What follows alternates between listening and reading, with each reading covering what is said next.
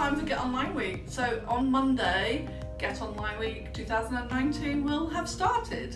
And this year I'm going to make sure I go to an event every single day for the entire week. So hopefully you're going to go to some events too, if you're not already hosting one. If you're hosting one, good luck. I hope loads of people come and really, really enjoy the things that you've got planned. It's not too late if you want to take part as well. You can go online, register your event and also download all the great resources. So watch the hashtag, Get Online Week, get involved, go to a local event, whatever you do, don't forget to tweet about it.